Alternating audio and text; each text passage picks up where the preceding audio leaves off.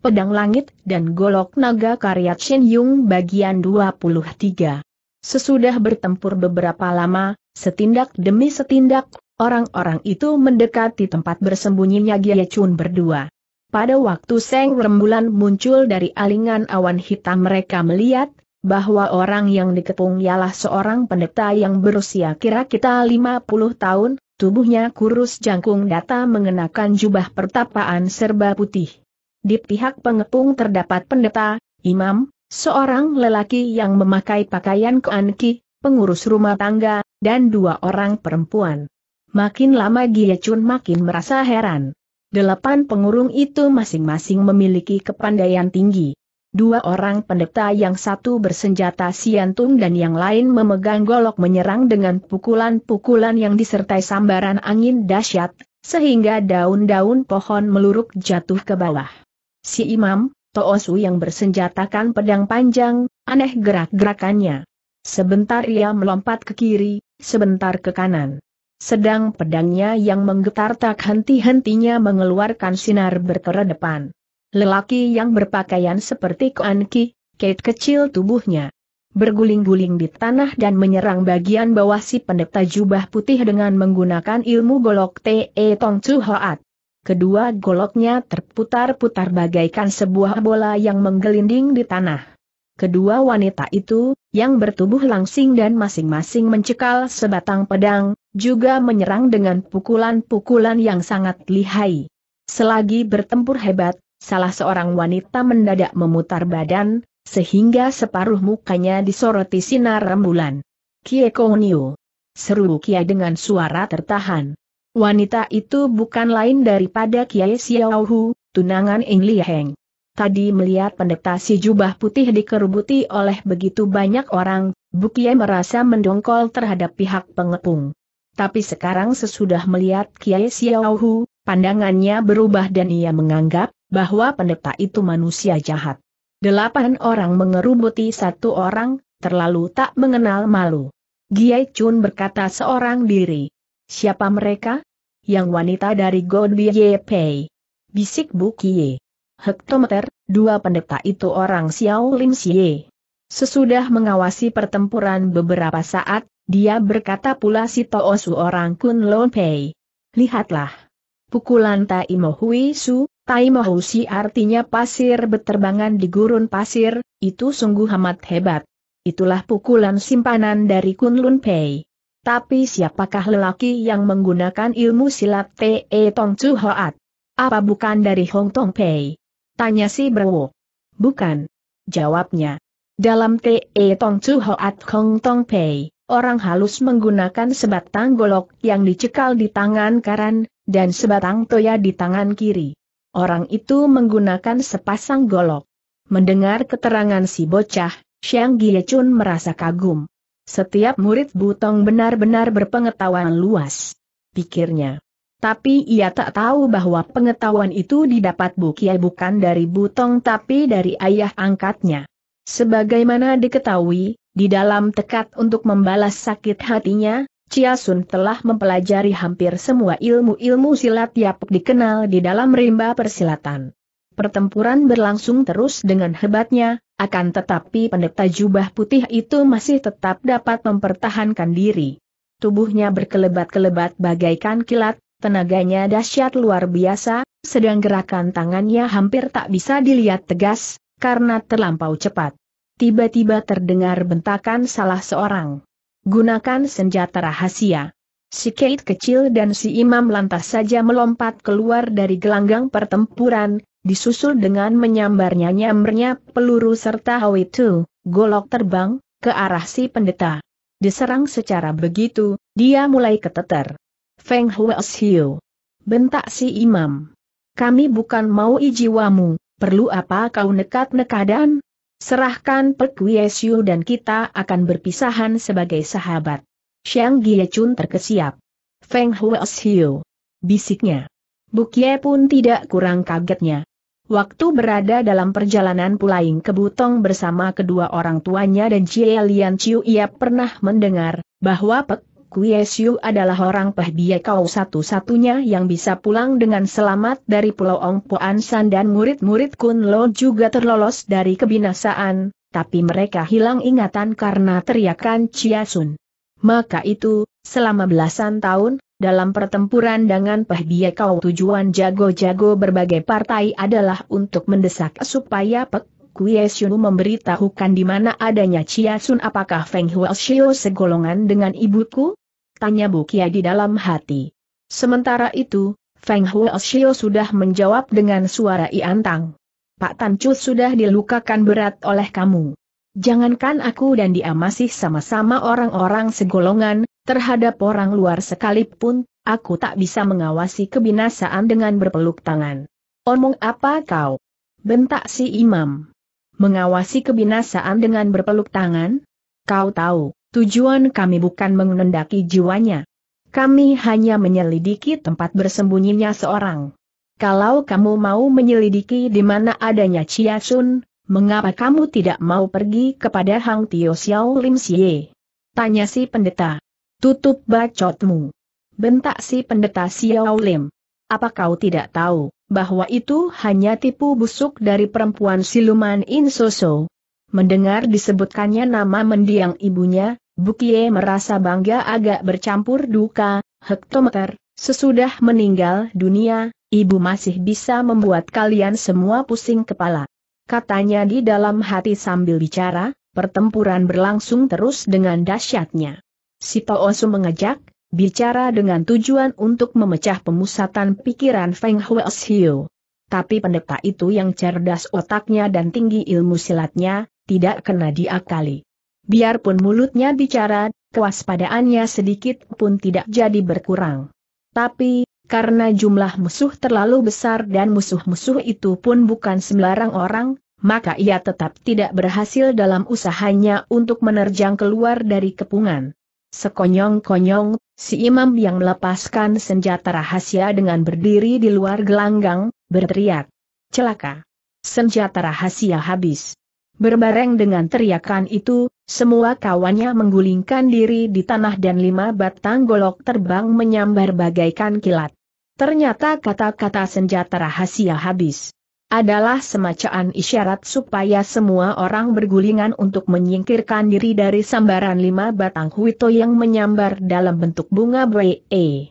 Dalam keadaan biasa, dengan menundukkan kepala, membungkuk, melompat ke depan atau menjengkangkan diri, Feng Huoshio akan dapat mengelakkan lima golok itu yang menyambar dadanya.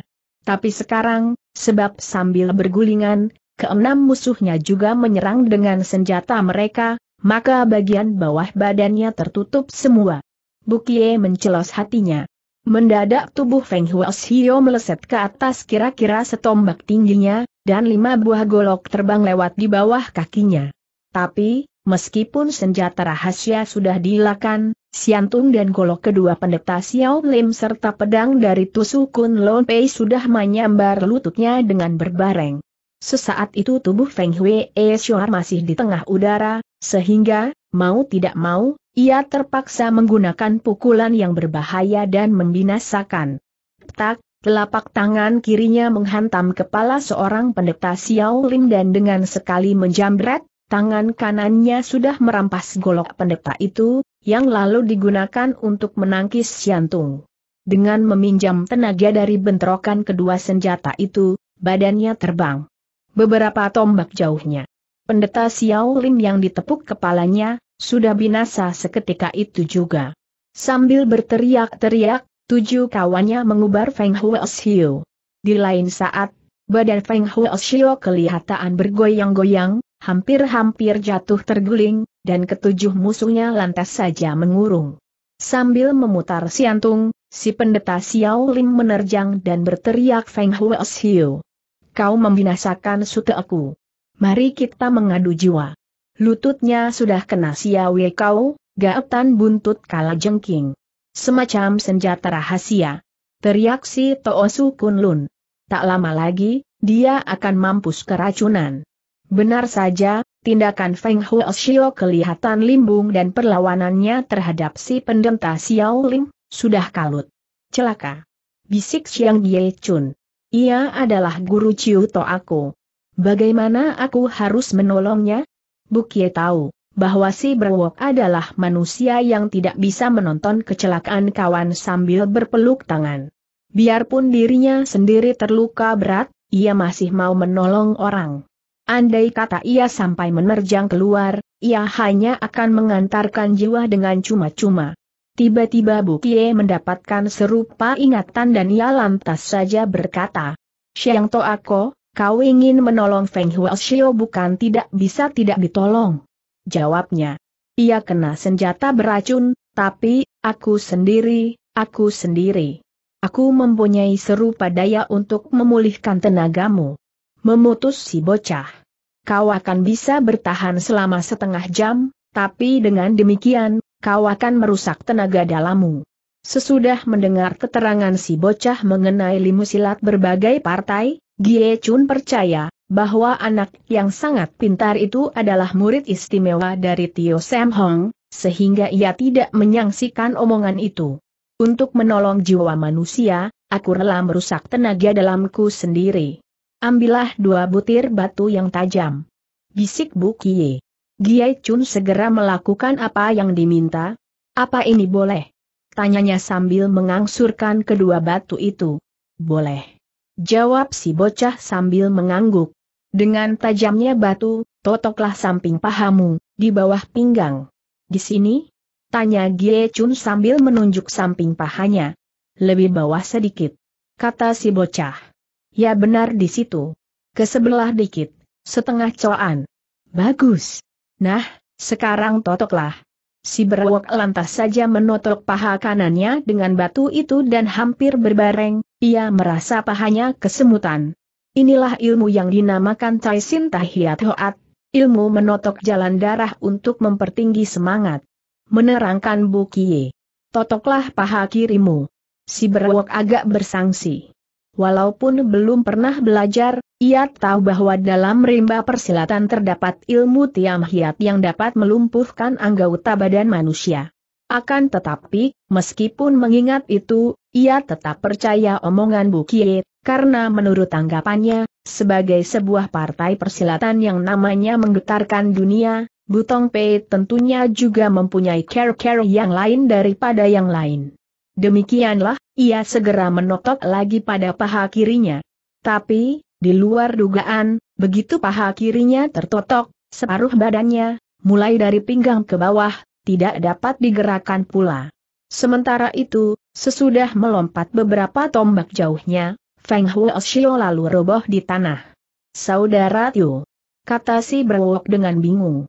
Mengapa, badanku seperti mati separuh? Bukie tertawa geli di dalam hati, karena Xiang Chun sudah tertipu, tapi ia pura-pura kaget dan mengeluarkan seruan tertahan. Celaka! Kau tidak mengerti tiang hiat, mungkin sekali kau salah dalam menggunakan tenaga. Tunggulah sebentar. Xiang Chun bukan seorang tolol. Di lain saat ia sudah mengerti, bahwa ia terjebak oleh muslihat si bocah nakal. Tapi ia pun tahu, bahwa dengan berbuat begitu, Bukie bermaksud baik sekali. Ia tidak dapat berbuat lain daripada menghela napas dengan perasaan mendongkol tercampur geli. Feng Huoshio menggeletak di tanah tanpa mengerak, seolah-olah ia sudah menghembuskan napasnya yang penghabisan. Akan tetapi biarpun begitu, musuh-musuhnya masih belum berani mendekati. Kou Sute, cobalah kau menimpuk lagi dengan dua buah golok terbangmu, untuk mencoba-coba. Kata si Toosu Kun Lun Pei. Jin yang dipanggil Kong Sutae. Segera mengayun tangan kanannya dan dua Owito menyambar, yang satu menancap di pundak kanan Feng Huoshio, sedang yang lain mengenakan paha kirinya. Tapi pendeta jubah putih itu tetap tidak bergerak, suatu bukti, bahwa dia benar-benar sudah binasa. Sayang. Sayang dia sudah mati. Kata si Tusukun Lun. Sekarang sukar diselidiki, di mana dia menyembunyikan Pek. Semua lalu mendekati mayat. Feng Siu. Mendadak, mendadakan saja, terdengar suara plak, plak, plak. Lima kali beruntun, dan lima orang roboh terguling. Hampir berbareng, dengan semangat bergelora, Feng Huoshio bangun berdiri, dengan pundak dan paha masih tertancap golok. Ternyata, sesudah kena senjata beracun dan yakin, bahwa jiwanya tidak akan dapat ditolong lagi, Feng Huoshio lalu pura-pura mati. Begitu lawannya mendekati, ia segera menghantam lima orang musuh lelaki dengan pukulan Ngoheng Chiang. Ia sengaja mengampuni dua orang lawan wanita, yaitu Kiai Xiao Hu dan sucianya yang bernama Teng Bin Kun. Dalam kagetnya, kedua murid God BJP itu melompat mundur. Mereka melihat, bahwa kelima kawannya muntahkan darah dan dua antaranya yang luakangnya agak lemah, sudah jatuh berlutut. Sesudah mengeluarkan banyak tenaga, tubuh Feng Huoshio pun bergoyang-goyang. Teng Kounio, Kie Kounio. Teriak situ Sukun Lun. Tikamlah bangsat gundul itu. Antara sembilan orang yang tadi bertempur, seorang pendeta Xiao Lim sudah binasa, sedang Feng Huoshio dan lima lawannya mendapat luka berat, sehingga hanya Teng Bin Kun dan Kiai Xiao Hu yang tidak kurang suatu apa. Mendengar teriakan si Toosu Kunlun, Teng Bin Kun segera mengangkat pedang dan menyabet kaki si pendeta. Feng Huoshio mengeluh. Karena merasa kasihan terhadap orang perempuan, aku tidak berlalu kejam terhadap kamu, tapi tidak dinyana, rasa kasihanku berbalik mencelakakan diriku sendiri.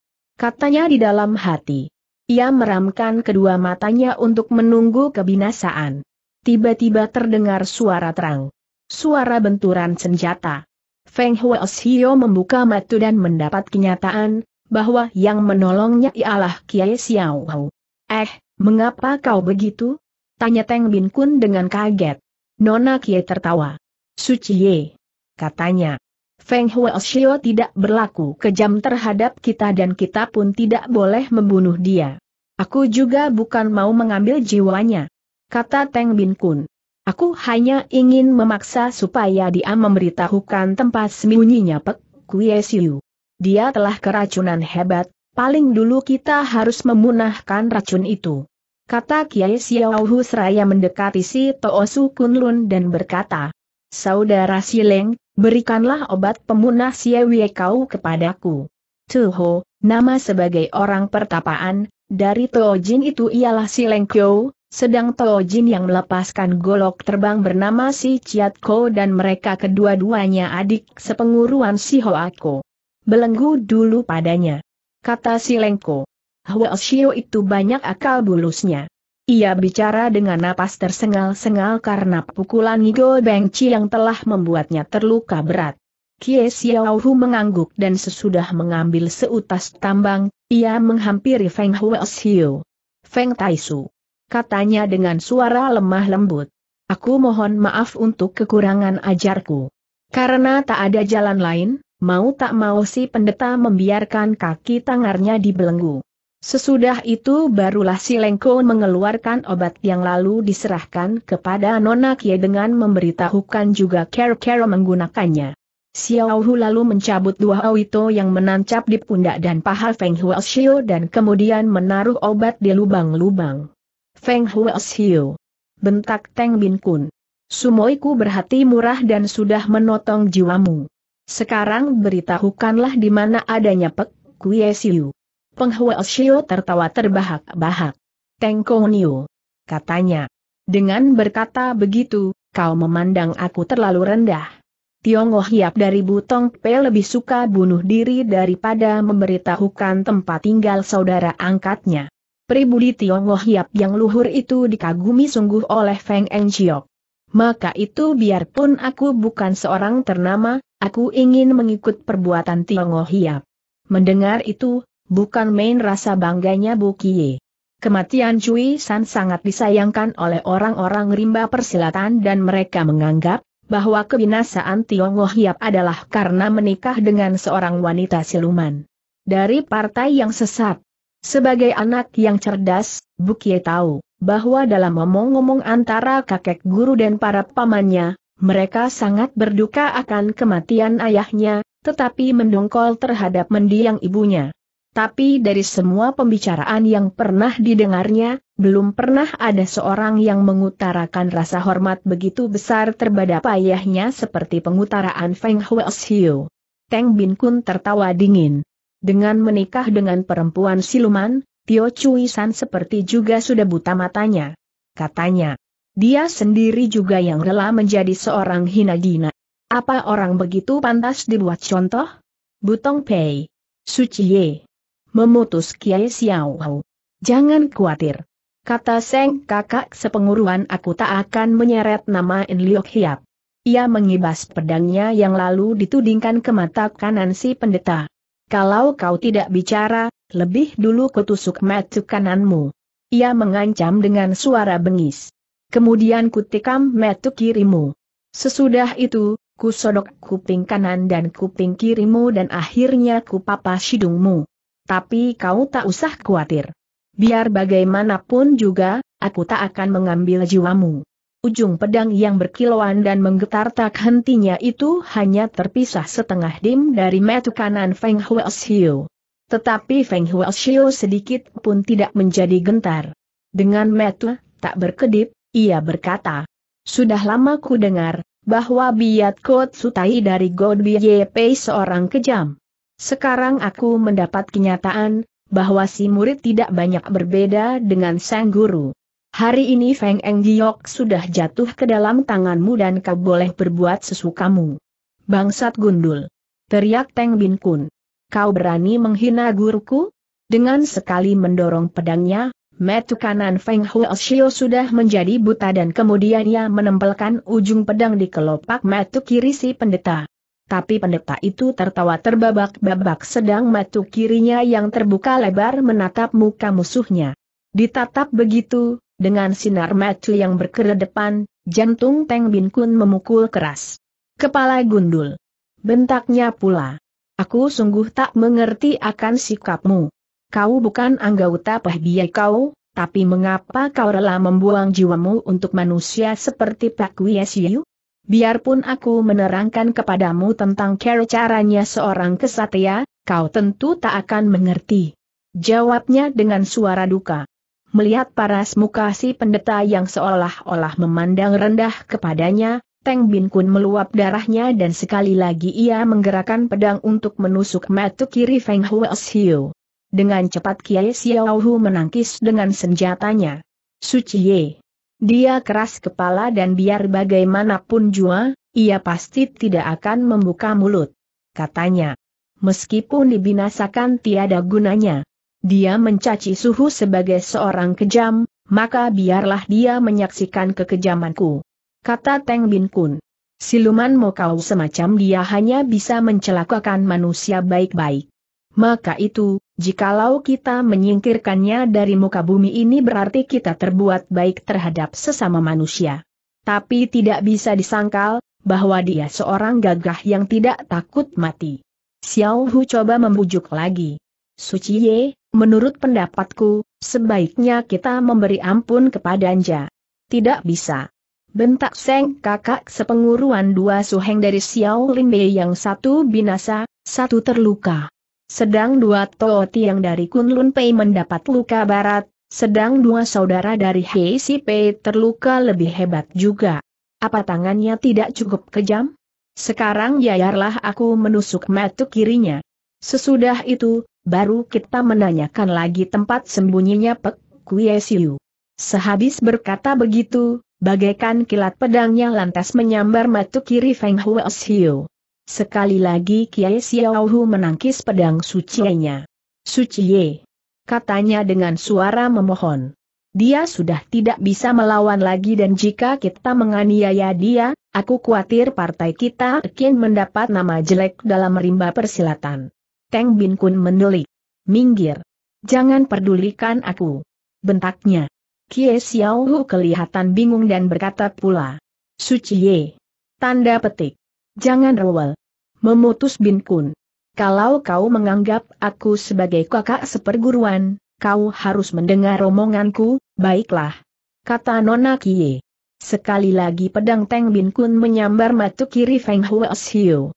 Kali ini ia menggunakan tiga bagian tenaga Kang. Ia pun mengerahkan tenaga dalam. Terang. Kedua senjata kebentrok dan kedua saudari sepenguruan terhuyung beberapa tindak. Teng Bin Kun marah besar. Sumuai. bentaknya. Beberapa kali dengan mati-matian kau melindungi pendeta siluman itu. Apa sebenarnya maksudmu? Kie Xiao Hu tertawa. Aku hanya ingin meminta supaya Sucie jangan menganiayanya. Jawabnya dengan sabar. Jikalau kita ingin menyelidiki di mana tempat sembunyinya Pek Kue Siu, kita hanya bisa menanyakan nanti secara perlahan-lahan. Teng Bin Kun tertawa dingin. Huh, Apakah kau kira aku tak tahu jalan pikiranmu? Tanyanya dengan nada mengejek. Berapa kali In Liuk siap dari Butong Pei mendesak supaya kau menikah dengannya? Mengapakah selalu menolak dengan memberikan rupa-rupa alasan? Waktu ayahmu turut mendesak, mengapa kau kabur dari rumahmu? Sucie itu adalah urusan Sumuai pribadi. Kata Nona Kiai mengapa Sucie jadi menyebut-nyebut hal itu, Seng kakak mengeluarkan suara di hidung. Kita sama tahu. Katanya. Di hadapan orang luar, memang kurang baik jika aku membuka topengmu. Huh! Badanmu berada di Godie, tapi hatimu di pihak kau. Mendengar perkataan itu, Xiao Hu gusar tak kepalang, sehingga paras mukanya berubah pucat. Aku selalu menghormati kau sebagai seorang kakak dan belum pernah aku berbuat kesalahan terhadapmu katanya dengan suara gemetar tapi mengapa hari ini kau menghina aku sedemikian hebat? Kalau benar-benar hatimu tidak condong, kepadamu kau, coba tusaklah metu kiri pendeta siluman itu. Kata Teng Bin Kun. Suci Ye. Kata Nona Kia dengan suara duka. Sebagaimana kau tahu, semenjak zaman Xiao Wong Siak Kwe E Su Chou, Kwe E Xiang, di dalam partai kita terdapat banyak sekali wanita yang tidak mau menikah seumur hidupnya. Oleh karena mengagumi kemuliaan mendiang guru besar kita, Xiao Moai pun telah mengambil keputusan untuk tidak menikah. Xiao Moai menganggap hal itu hal yang lumrah saja. Mengapa Sucie mendesak begitu hebat? Sudah.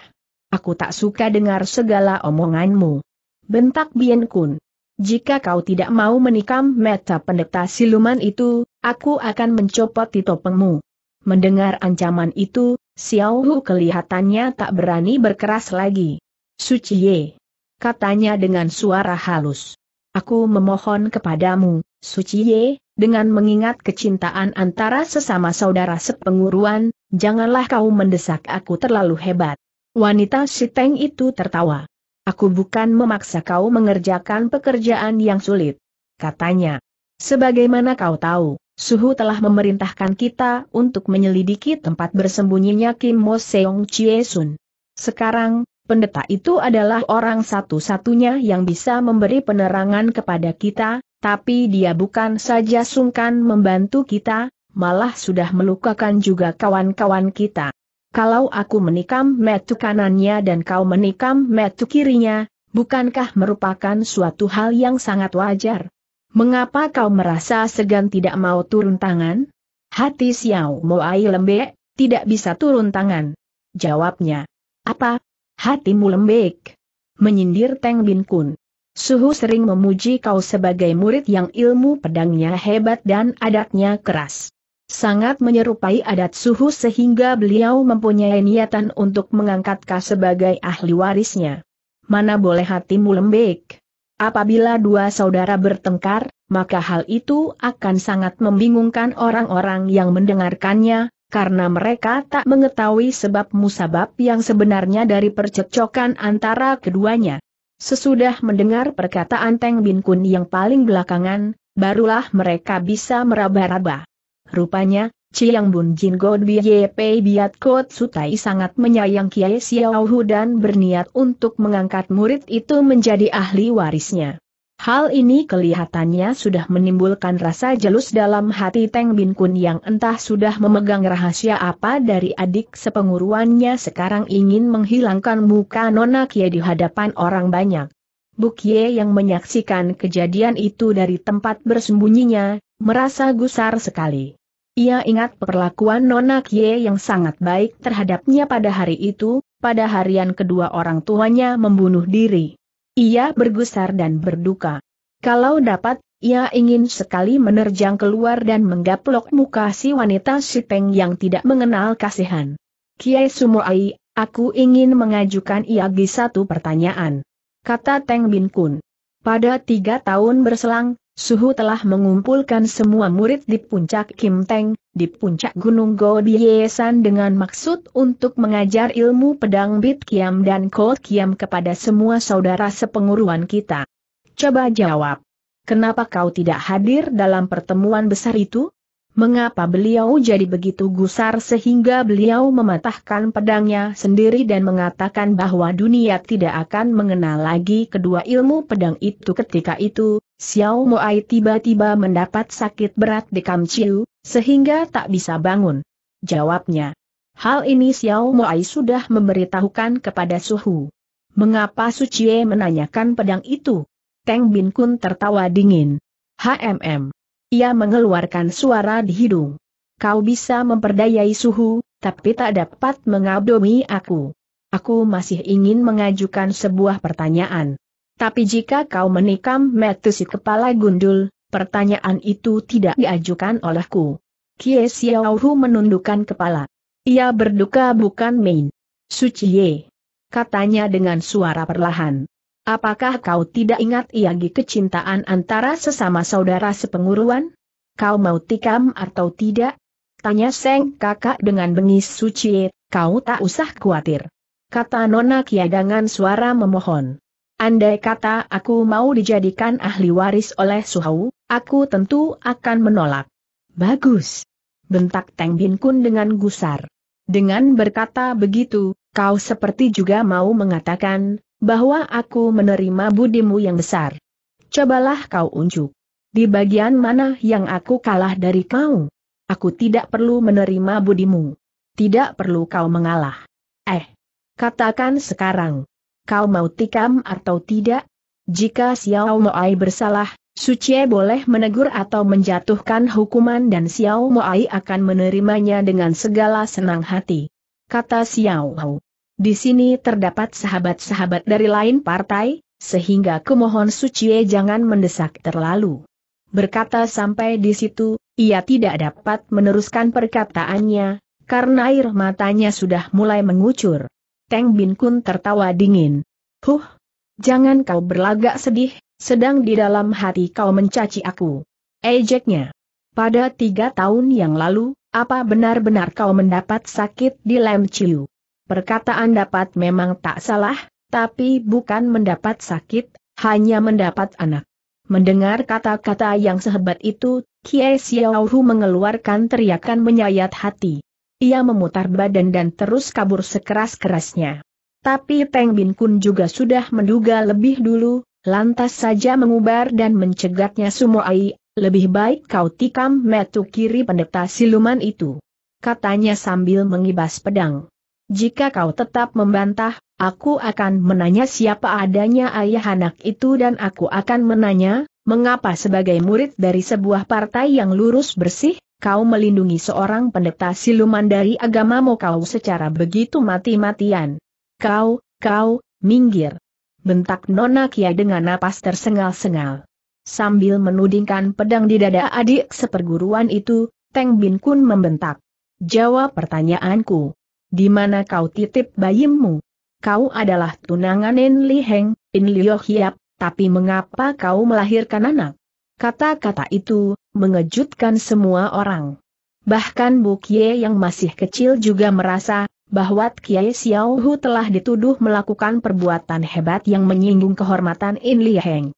Paras muka Nona Kiai berubah pucat bagaikan kertas dan ia menerjang untuk coba meloloskan diri.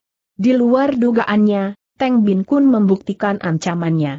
Dengan sekali menyodok, pedangnya amblas di lengan Xiao Hu, sehingga ujung pedang mengenakan tulang. Sambil menahan sakit, Nona Kie terpaksa menghunus senjatanya dengan tangan kiri. Suci Ye. Katanya dengan suara parau. Jikalau kau mendesak terus, aku terpaksa akan berlaku kurang ajar.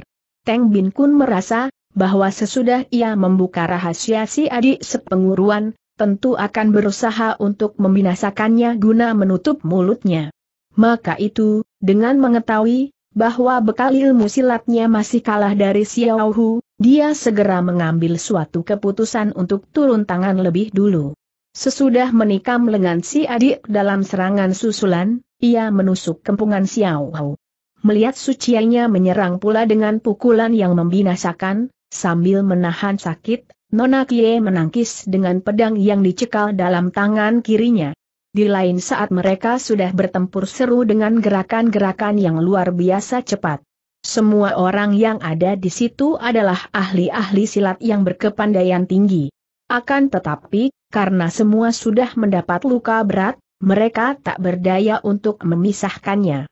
Diam-diam mereka merasa kagum akan lihainya ilmu pedang God Pei, yang dikenal sebagai salah satu dari empat partai besar dalam rimba persilatan. Kie Xiao Hu bertempur dengan lengan kanan terus mengucurkan darah.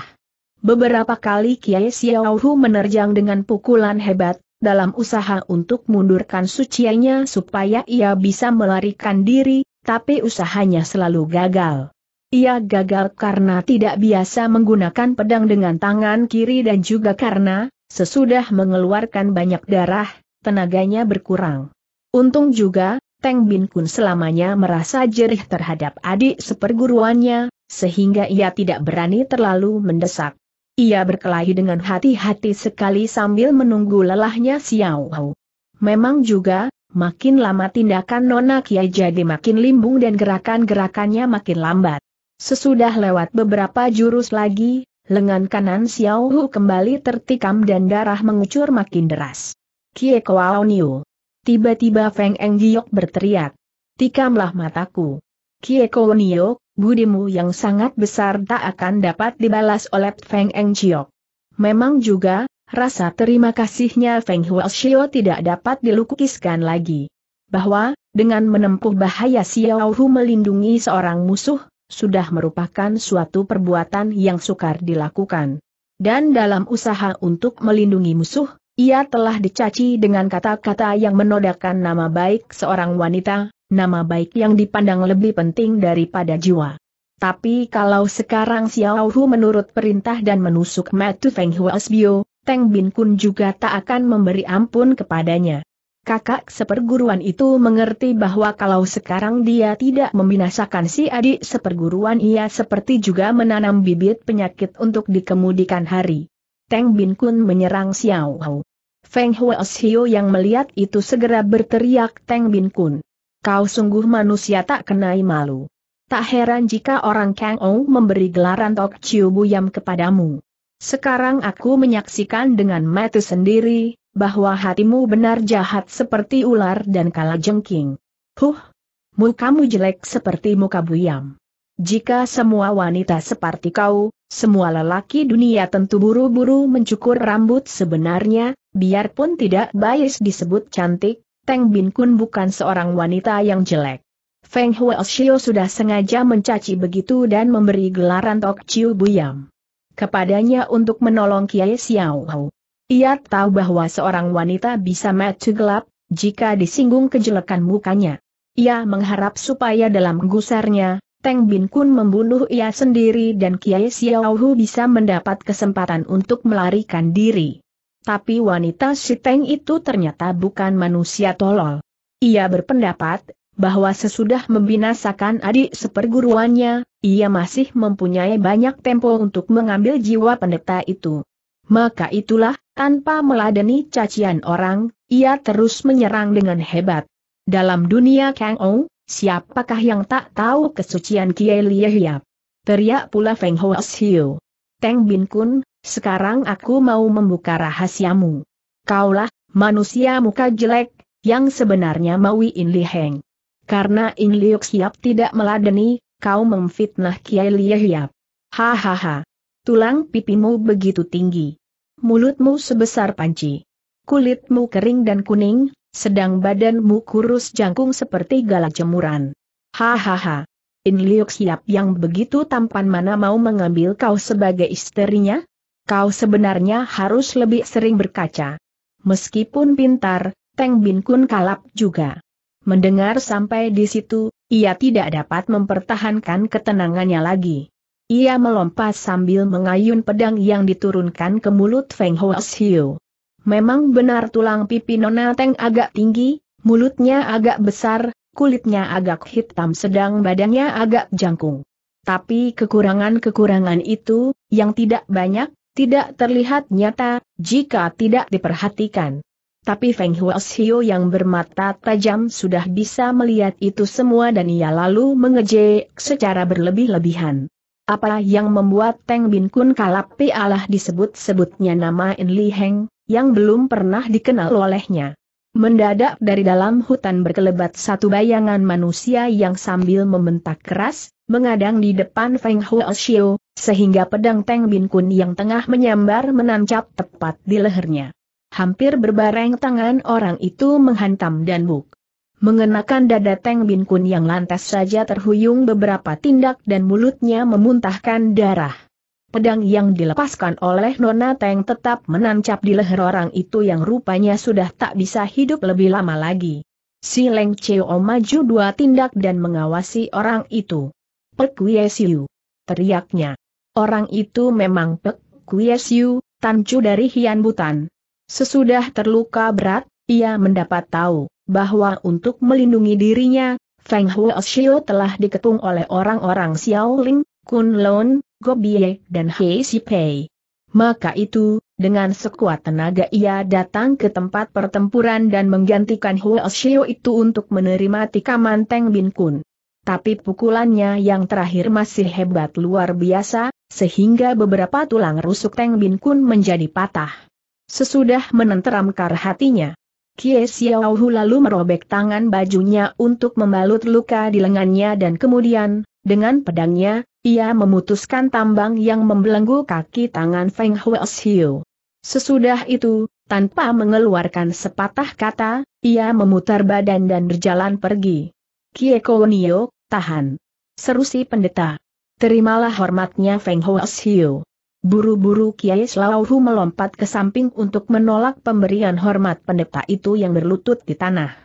Begitu bangun berdiri si pendeta segera menjemput pedang si Longko dan berkata, manusia yang sudah merusak nama baik Kieko Nio tidak boleh dibiarkan hidup terus.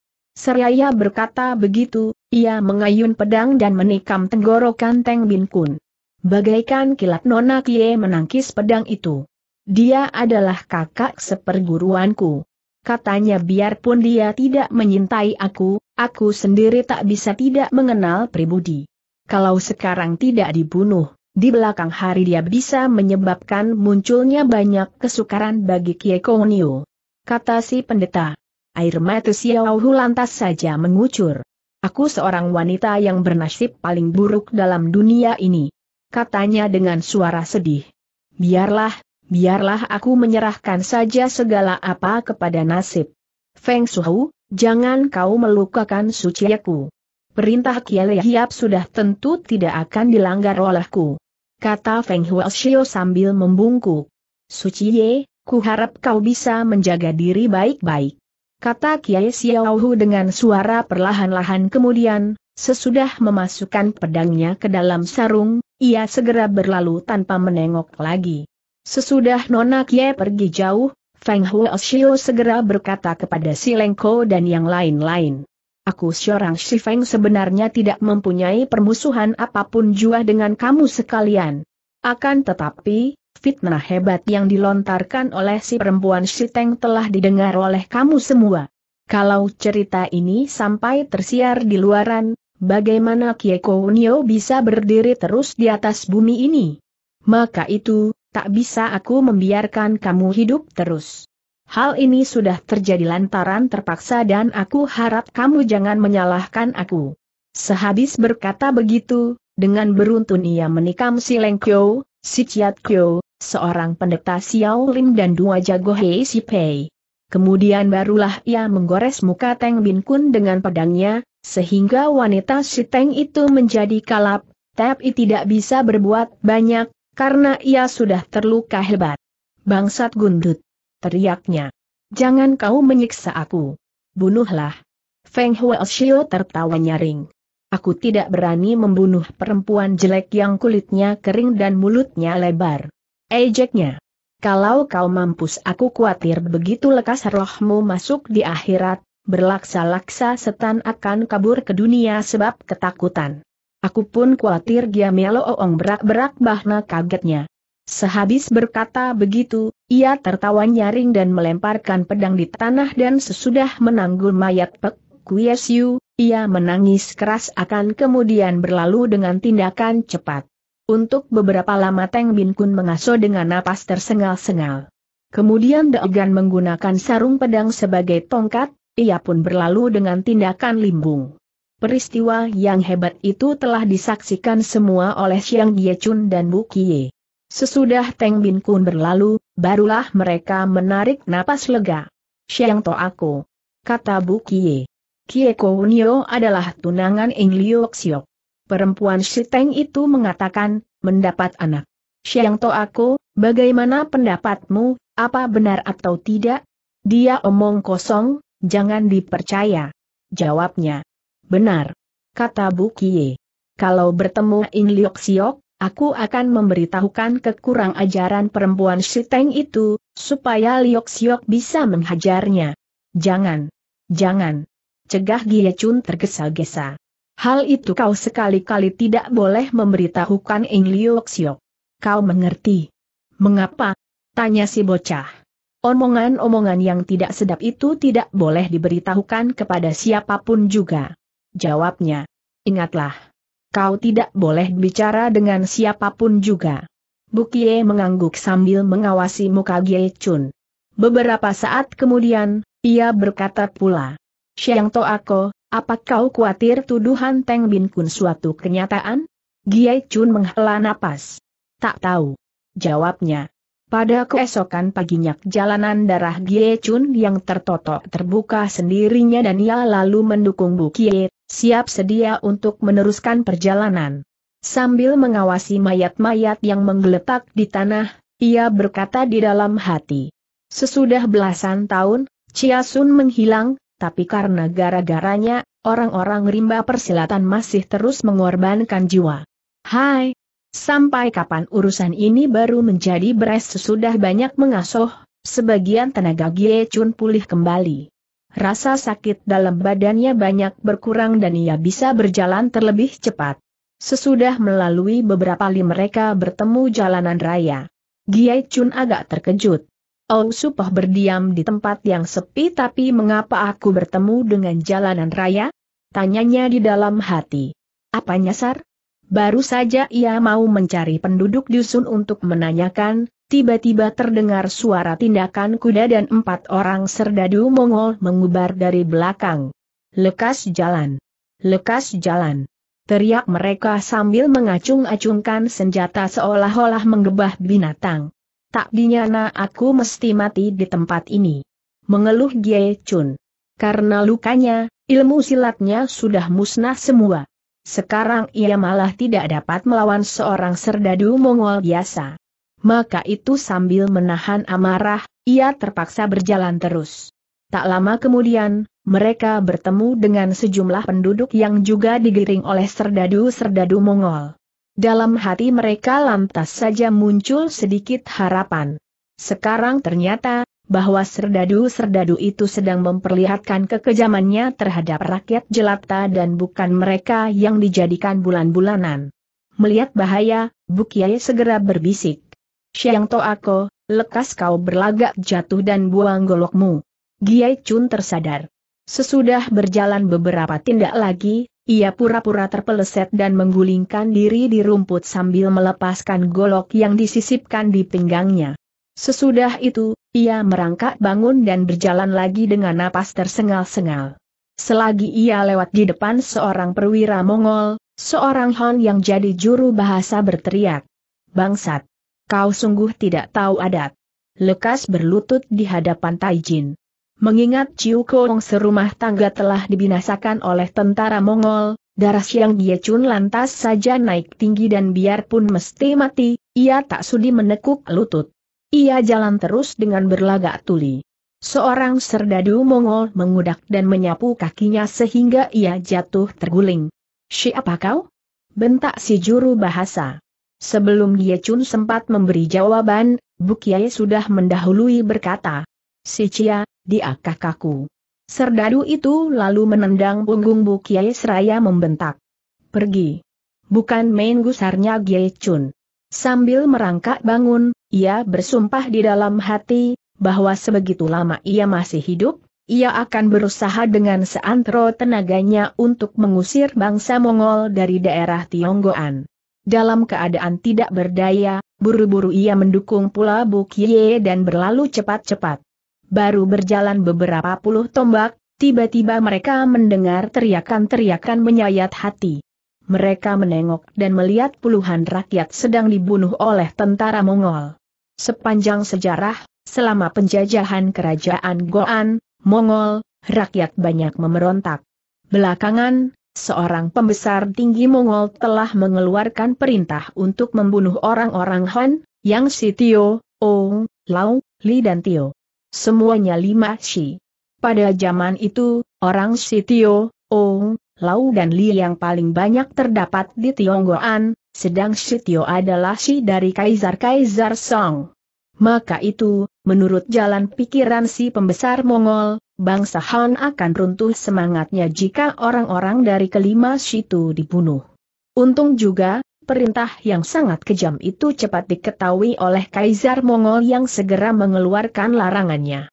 Tapi sementara itu, banyak juga orang Han yang dibunuh mati. Giai Chun tidak berani berdiam lama-lama lagi dan lalu berjalan secepat-cepatnya.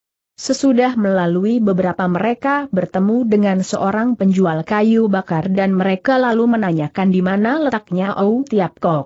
Orang itu menggelengkan kepala. Tapi Gie Chun segera mengetahui bahwa supehnya mesti berdiam di sekitar tempat itu. Dengan sabar ia lantas saja mencari-cari. Di sepanjang jalan mereka melihat ratusan macam bunga yang menghiasi daerah pegunungan itu. Tapi sesudah menyaksikan peristiwa yang menyedihkan itu, mereka tak punya kegembiraan iagi untuk menikmati pemandangan alam yang sangat indah. Sesudah membelok di beberapa tikungan, di sebelah depan menghadang sebuah tembok gunung dan jalanan putus di situ. Selagi mereka kebingungan, mendadak muncul beberapa ekor kupu-kupu yang terbang masuk ke sebuah gerombolan pohon-pohon kembang. Tempat ini dinamakan Oh Tiap Kok atau selat kupu-kupu. Kata Bu Kie. Apa tidak baik kita mengikuti kupu-kupu itu? Baiklah. Kata Gie Chun yang lalu turut masuk ke gerombolan pohon itu. Sesudah melewati gerombolan pohon bunga, mereka bertemu dengan sebuah jalanan kecil yang tertutup rumput hijau. Setelah berjalan beberapa jauh, jumlah kupu-kupu yang berterbangan di sekitar situ jadi makin banyak. Hidung mereka mengendus harumnya bunga-bunga. Kembang-kembang yang tumbuh di sekitar situ sangat berbeda dengan apa yang terlihat di tempat lain.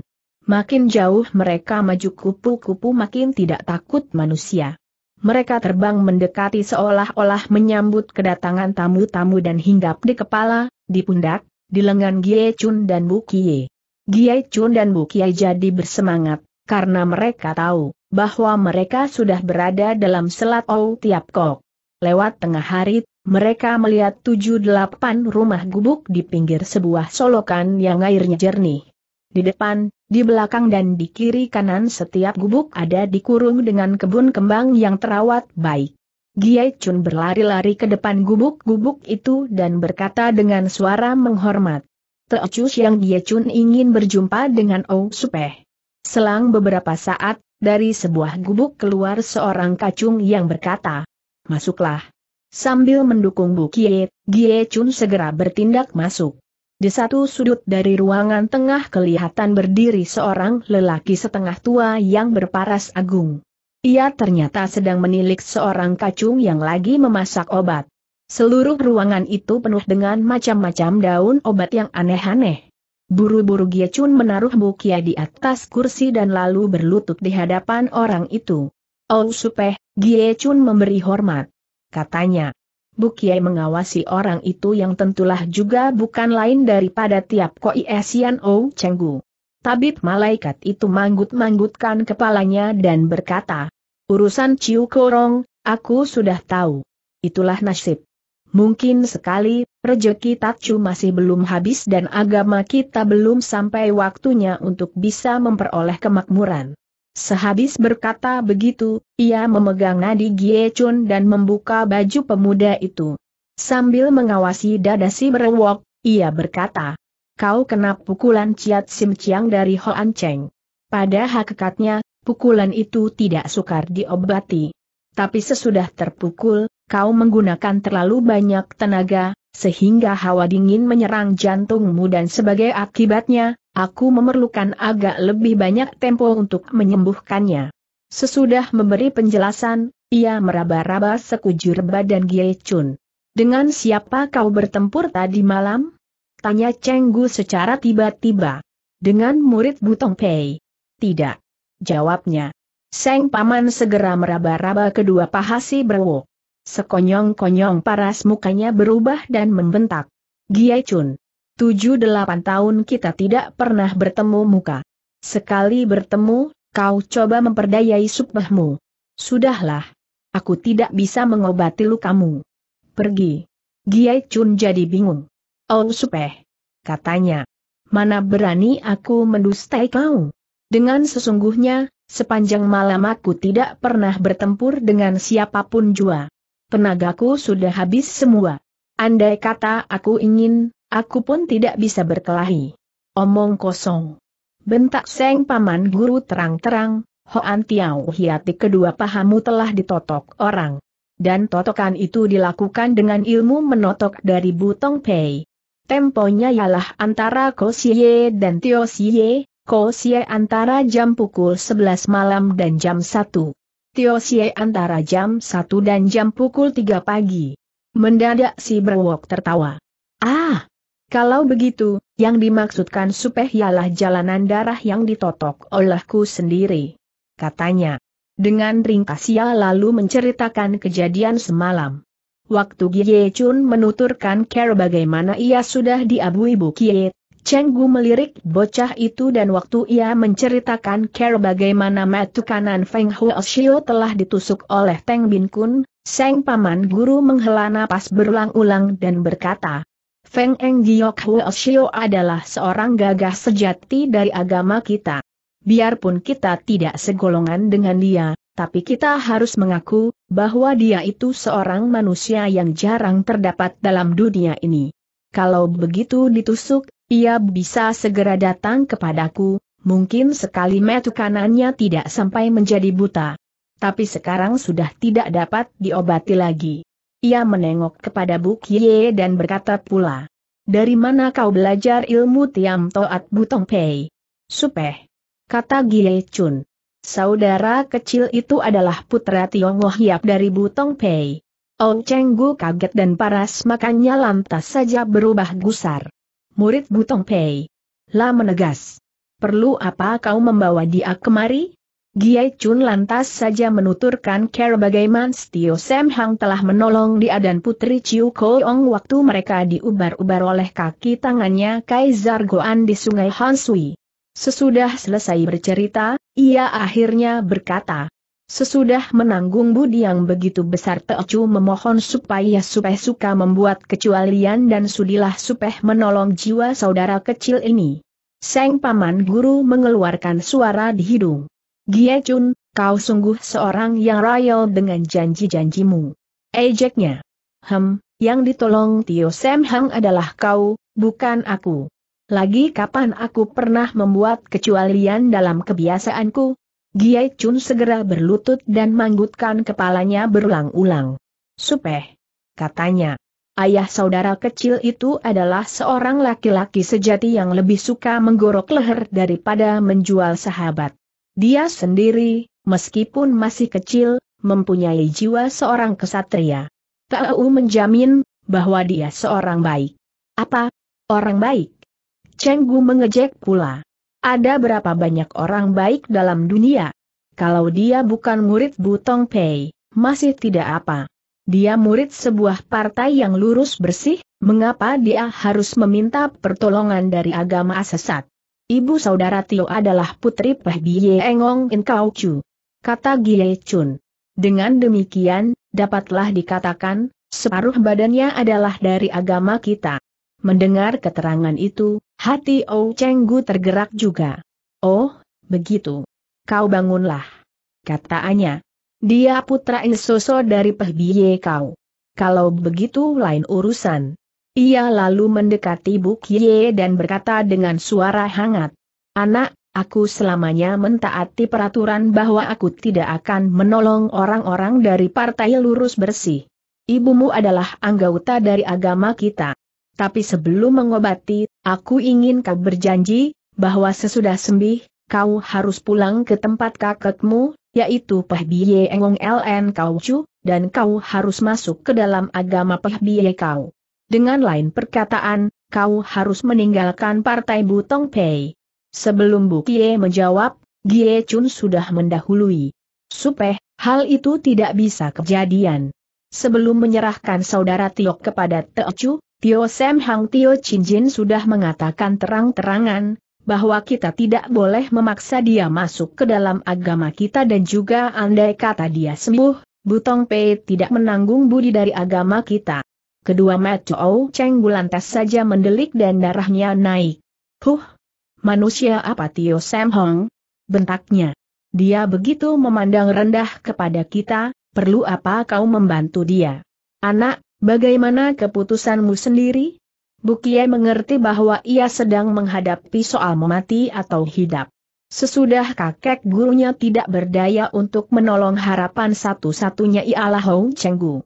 Lah tahu, kalau ia tidak dapat meluluskan apa yang diminta oleh tiap Koi Esian, jiwanya pasti tak akan bisa ditolong lagi. Ia sendiri sebenarnya masih tak tahu apa kejelekan atau kebusukan agama. Sesat yang begitu dibenci oleh Seng kakek guru dan semua paman-pamannya.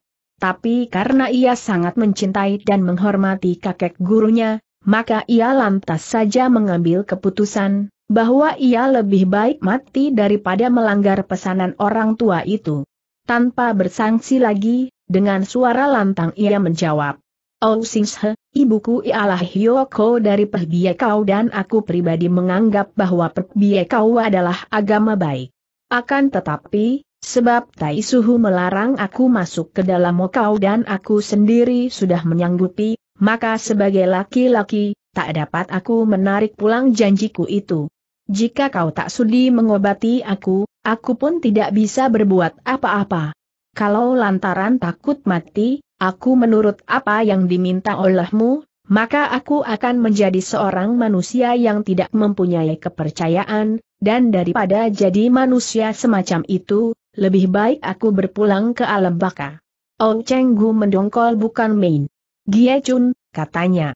Bawa, dia pergi. Di dalam rumah Ong Cheng Gu tidak boleh ada orang mati lantaran sakit. Gie Chun jadi bingung. Ia mengenal benar adat supehnya jika ia telah berkata tidak, perkataannya tidak bisa diubah lagi. Saudara kecil. Katanya dengan suara membujuk. Biarpun mau kau agak berbeda dengan partai-partai yang lurus bersih, akan tetapi, Semenjak zaman kerajaan Tong sampai sekarang, dalam kalangan kami setiap turunan selalu muncul orang gagah sejati. Apa pula kakek luarmu adalah kaucu dari pehbia kau sedang ibumu sendiri Hyoko dari agama tersebut. Saudara kecil, luluskanlah permintaan Ou Supeh. Di hari kemudian aku akan bertanggung jawab di hadapan Tio Chinjin. Baiklah. Kata Bu Kie. Siang To Ako, ketuklah tulang punggungku yang kedelapan dan ketiga belas dengan kuku jarimu, ketuklah beberapa kali. Giai Chun menjadi girang dan lalu melakukan apa yang diminta. Di luar dugaannya begitu kedua tulang punggungnya diketuk, si bocah lantas saja menggerakkan kedua kakinya. Ia bangun berdiri seraya berkata kepadanya Siang To aku. Kau telah berbuat apa yang kau bisa. Di belakang hari Tai Suhu tak bisa menyesalkan kau. Ia memutar badan dan berjalan keluar dengan tindakan lebar. Si Browo kaget. Mau ke mana kau? Teriaknya. Kalau aku mati di Ong Tiap Kok, bukankah nama Tiap Kok Iesian akan menjadi rusak? Jawabnya. Sambil berkata begitu, ia kabur dengan menggunakan ilmu mengentengkan badan. Ong Cheng Gu tertawa dingin. Nama Kian Siepo Et Kiu Ong Cheng Gu sudah kesohor di kolong langit, katanya. Bukan baru satu orang yang roboh binasa di luar rumahnya, Kian Siepo Et Kiu artinya melihat kebinasaan tetap tidak menolong. Tanpa menghiraukan perkataan supehnya, Gie Chun segera mengubar. Mereka kedua-duanya sama-sama mendapat luka, tapi luka Cie Goan banyak lebih enteng dan tenaganya pun banyak lebih besar. Maka itu, dalam beberapa saat saja ia sudah bisa menyandak Bukie yang lalu dipeluknya dan dibawa balik ke rumah paman guru ya. Dengan kedua tangan belum bisa bergerak, si bocah tidak berdaya lagi. Oh supaya apa benar-benar kau tidak mau menolong?